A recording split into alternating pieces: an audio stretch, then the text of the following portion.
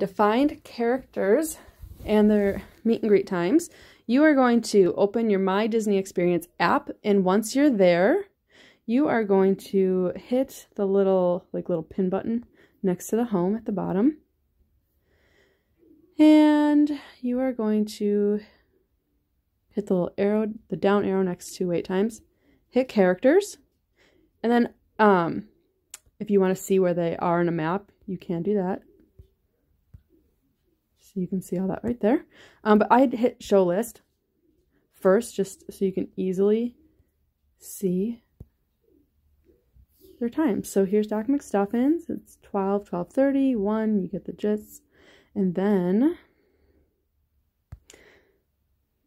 you can also filter. So if you're at just Magic Kingdom for the day, you can see who's going to be at Magic Kingdom and so on. And that's it. Super easy.